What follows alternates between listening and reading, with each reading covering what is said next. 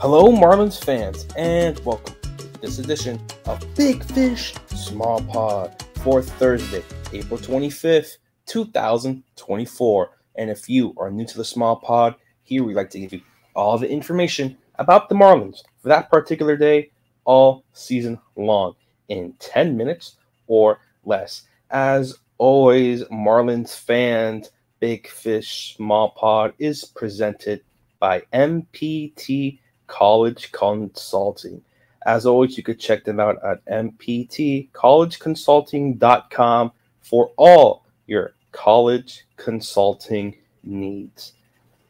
And Marlins fans, this episode of Big Fish Small Pod, we will be detailing the start for Noble Meyer for this season. I'm going to be doing a little series covering some of the top prospects for the Marlins and how they've been doing so far to start the year. And of course, you have to start with the number one guy and the majority of the outlets, if not all of them, Noble Meyer. First round pick last season, 2023, 10th overall pick. Um, Noble Meyer has had a very rocky start to his minor league professional season so far in 2024. Um, you can just see right there his stat line. And only nine innings, but again, three starts and eight ERA for Noble Meyer, which is something you really don't want to see from your number one overall guy um, in the farm system. And to go about how Noble Meyer has been doing, we could start off with the first game, his first game of the season, April 6th. Three and two third innings, three hits, two earned runs, three walks, five strikeouts a decent start for Noble Meyer that game. He had 79 pitches. He threw that. Um, he really he only threw three types of pitches that game.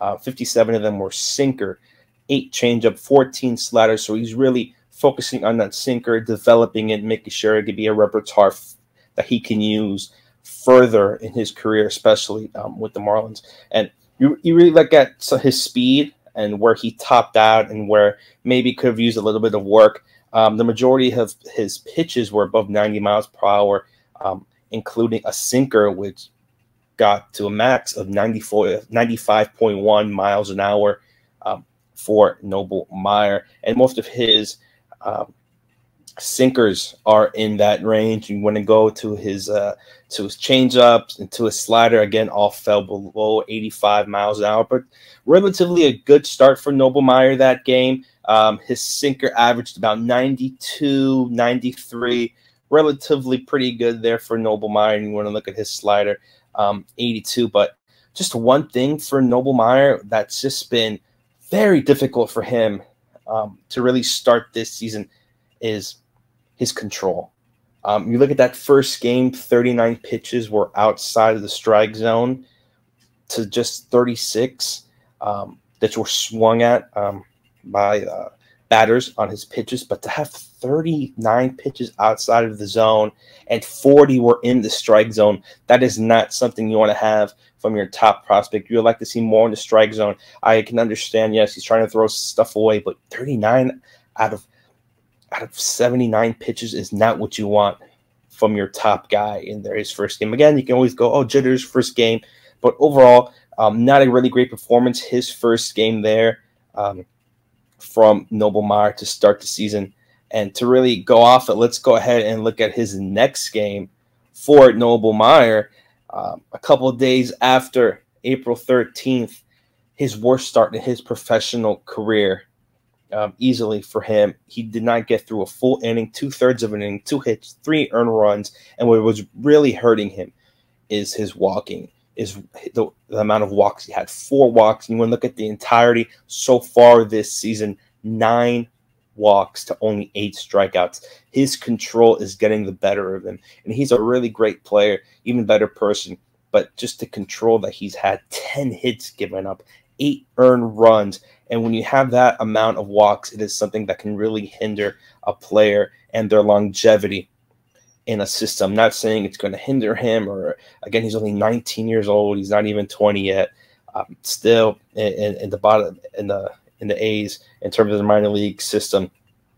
the A level. But it's something that Noble Meyer will just have to to get through again if you're going to help out with pitching, or either it be in the Marlins system or they have a track record of getting pitchers ready and, and really working with them and improving them to be the best that they can. Again, Noble Meyer still in his teens, so nothing really to worry about there. But again, that was a very bad start from Noble Meyer um, to the point it was only 37 pitches he threw and two thirds of an inning, which is not what you want to see. Again, three types of pitches. He really high, heavily on that sinker, 30 pitches on that sinker out of 37, five changeups, two sliders. Not what you want to see there. Um, his sinker did have more average, had a better average than it did last game, going from 92.9 to 93.5, which is something very good to see there.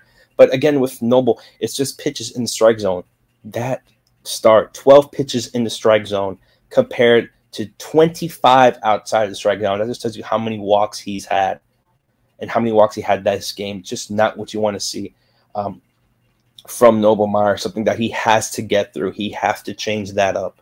He cannot throw these pitches outside of the strike zone and, and, and believe maybe he could succeed as a pitcher. You have to throw it inside the strike zone. You have to make sure to get outs. He did not get a lot, or if any, in that start, but – Noble Meyer, I believe, will be a better pitcher, but this is just something that has to change in terms of him walking guys and throwing pitches in the strike zone.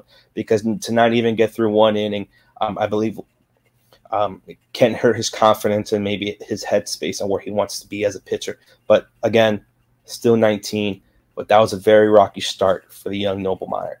Um, and let's go to his most recent start, April 20th.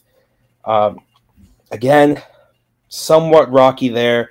He's having a hard time uh, with the earned runs and with some of the walks. Again, this is you could say this one's his better, one of his better starts of the season, or at least in his career. His longest start as well, four and two thirds of an inning, five hits, three earned runs, two walks. Again, the lowest of the season, which is good. Three, four, two. Uh, if you can limit just two walks a game will be perfect, or at least two walks every four and two third innings and three strikeouts. Again, has to get some more guys striking out, but again, it's just really up to what he's pitching at the moment and making sure that he can succeed. Again, his most pitches thrown this season, 84 pitches for Noble Meyer. Again, really relying heavily on that sinker, 48 pitches where this he used a sinker, 30 slider, only threw the changeup once and threw the curveball five times. So really getting that curveball in there and testing that out to see how it can work and just understand um, the best way to use that pitch for him to succeed. Again, 48 pitches on the sinker, 30 slider, one changeup, five on that curveball. But with Noble Meyer, his sinker got to up to 94.1 in terms of average. But overall, for Noble Meyer, it has not been the best of starts to his season very young, but this is someone that the Marlins hope can improve on and are really seeing something in him again using a high round, a high uh, pick last season to draft him. But with Noble Meyer, it really just depends on his control. That can really hinder um, the development of a pitcher. We've seen it. We've seen it with Eddie Cabrera. It, if Eddie Cabrera could not walk guys or just half his amount of walks in the start, he can easily be one of the best pitchers in the National League. And that's exactly what needs to happen with Noble Meyer. Again, very young in age, still just a baby in terms of his professional career. With Noble Meyer, just has to improve his ability to control. Again, work up that changeup work up that slider. We all know we can really trust his sinker, but just making sure that he's throwing it in the zone and not walking as many guys. Again, you can always throw outside the strike zone if that's what you believe you can get guys out. But again, limiting it to the point where you're not throwing it and you're walking guys. You're throwing it to get guys to strike out. You're not getting it to have them go on base. But Noble Meyer, subject of the first episode of my prospect series for 2024. As always, I am Daniel Rodriguez, and this is Big Fish Small Pod presented by MPT College Consulting.